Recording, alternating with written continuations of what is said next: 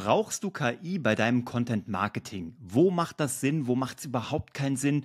Wenn es Sinn macht, welche KI brauchst du? Und wie kommst du zu Geschichten, die wirklich berühren und dann eben im Content Marketing auch verkaufen? Darum soll es heute gehen. Heute geht es um KI oder vielleicht auch nicht. Wie das weitergeht, wirst du erfahren direkt nach dem Intro. Herzlich willkommen bei Geschichten, die verkaufen. Ich freue mich, dass du wieder eingeschaltet hast. Der Podcast für Content Marketing, für Business Storytelling und alles, was uns die Arbeit damit leichter macht. Vielleicht ist KI ja eine solche Erleichterung, vielleicht aber auch nicht. Und ich habe da eine ganz klare Meinung. Wir haben da eine ganz klare Meinung, wo du sie einsetzt, welche du einsetzt und wo du auf gar keinen Fall KI einsetzt. So. Unsere Meinung, du kannst das gerne anders sehen, wir äh, kommen damit ganz gut zurecht. Wir zeigen das auch allen unseren Kunden, die damit arbeiten und wir sehen wahnsinnige Erfolge. Einen dieser Erfolge habe ich letztes Mal ja schon in der letzten Episode vom letzten Sonntag, da kannst du gerne noch mal reinhören, wenn du magst, schon mal genannt. Wir haben einen Kunden, heute darf ich ihn auch mit vollem Namen nennen. Er heißt Armin L. Rau, also Armin L. Rau. Du kannst ihn gerne auf LinkedIn mal stalken. Und Armin hat halt mit uns in einer äh, One-on-One-Mastermind-Begleitung gesessen. Also wir begleiten ihn einmal wöchentlich mit seinem Team und gucken, dass wir ihn sehr schnell voranbringen. So, und da habe ich ihn gefragt, Armin, was sind denn so liebevolle Macken und Spleens, die du hast? Was sind denn so Geschichten, die rumliegen, von denen du schon gar nicht mehr denkst, dass es eine Geschichte ist? Und hat Armin gesagt, puh, die gibt's gar nicht. Habe ich gesagt, Armin, denk doch mal nach. Irgendwas gibt's doch bestimmt. Irgendwas, was in deinem kleinen Hamsterrad für dich ganz normal ist, aber wo Leute draußen sich denken würden, wow, das ist ja total äh, berührend oder interessant oder gibt mir irgendwie Kontext bei dir oder gibt dir Ecken und Kanten, so dass ich dich fühle. Und dann sagt er, ja, also ich sammle halt Zuckertütchen und habe eine Sammlung von über 200 Zuckertütchen aus der ganzen Welt. Ich habe letzte Woche das schon kurz angesprochen, aber ich will die Geschichte einmal kurz in Gänze erzählen. Das ist mit ihm abgesprochen, ich darf das. Ähm, und dann sage ich, okay, warum machst du das? Dann sag ich, da sagt er so, ja, meine Oma war im Krieg, die war äh, sehr arm, ihr Mann ist gestorben. Dann ist sie immer irgendwo hingegangen. Da gab es Zuckertütchen im Café oder bei irgendwelchen Besuchen. Und da hat sie immer so diese Zuckertütchen gehamstert, weil sie sparen musste, hat die mit nach Hause genommen und da aufgebraucht. Und weil Armin bei seiner Oma sehr viel Zeit verbracht hat und sie sehr geliebt hat, hat er irgendwie diese Marotte aufgenommen. Nicht aus Sparsamkeit, sondern Immer wenn er irgendwo auf der Welt unterwegs war, meistens mit seiner Frau, aber auch beruflich, in Buenos Aires, in New York, wo auch immer, er reist sehr gerne, hat er sich ein Tütchen mitgenommen, äh, was er nicht aufgebraucht hat, in einem Café, ein Zuckertütchen, hat es mit nach Hause genommen, gesammelt in einer, in einer Dose, die gibt es auch heute noch. Die ist voll mit tollen Zuckerpäckchen aus der ganzen Welt.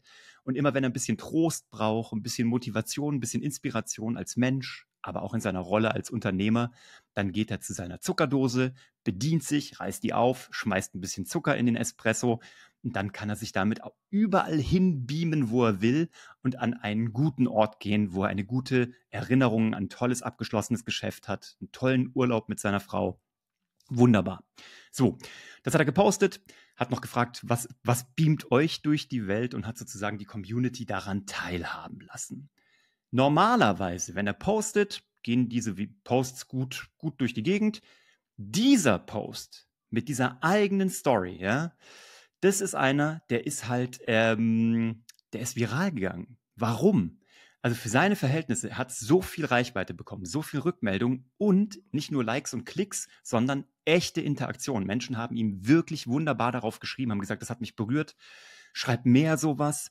Ich wusste überhaupt gar nicht irgendwie von dir irgendwas. Ich hatte gar kein Profil bei dir. Jetzt kann ich dich irgendwie einschätzen. Also er hat ein Feedback bekommen, was er noch nie bekommen hat. Und das ist jetzt die These. Die KI kennt nicht deine Zuckertütchen-Spleens. Ja, das kann eine KI niemals nachbilden. Lass die Finger davon, wenn du sagst, ich kann nur mit KI schreiben. Ähm, es gibt zwei große Einsatzgebiete, wo KI wirklich tollen Sinn macht, wo wir es auch nutzen. Das erste ist, wenn wir mal keine Ahnung haben oder wenn wir uns überlegen, was könnten sich Menschen zu dem Thema wohl fragen. Dann kannst du eingeben bei von mir aus ChatGPT oder bei den üblichen Verdächtigen, schlage mir 20 Themen zum Thema Energiesparen im Hausbausektor vor. Ich weiß es nicht. Und dann kriegst du so eine erste Ideensammlung.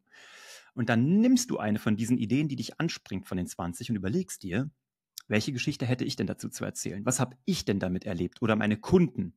Und dann überlegst du das nur als Inspiration. Aha, das ist ein Oberthema und jetzt gucke ich, wie ich mit meiner eigenen Brille, mit meinen eigenen Erfahrungen und mit, meinen eigener, mit meiner Historie und meinen Spleens, meinen Erfahrungen, meiner Story daraus eine gute Geschichte baue. So, das ist eine wunderbare Möglichkeit, KI einzusetzen. Die zweite ist, und das weißt du, wenn du uns schon länger zuhörst, für Konfektionierung. Das heißt, wir machen ein 16 zu 9 Breitbildvideo und mit KI lassen wir es, zum Beispiel mit Opus Pro, haben wir auch schon tausendmal drüber geredet, äh, ein, ein Online-Dienst, machen wir daraus unsere Hochkant-Videos, damit wir nicht alle per Hand schneiden müssen. Wir machen das 16 zu 9, 9 zu 16, also hochkant, lassen die schön schneiden. Das ist eine Vollautomatisierung, dann sind die untertitelt, dann werden die ausgespuckt und wir können sie teilen. Wunderbar. Damit, da so nutzt du oder so nutzen wir KI und da macht das total Sinn. Wenn du das Gefühl hast, du fühlst dich sicherer beim Schreiben nur mit einer KI, weil deine Lehrerin oder dein Lehrer dir irgendwann mal in der siebten Klasse gesagt hat, dass du angeblich nicht schreiben könntest, ja, dann vergiss das jetzt. Überwinde bitte deine Deutschlehrerin, deinen Deutschlehrer. Totaler Quatsch. Du kannst nämlich schreiben. Und zwar immer dann, wenn du auf deinen Bauch hörst, wenn du eine eigene Story nimmst und sie so erzählst, wie du sie erlebt hast.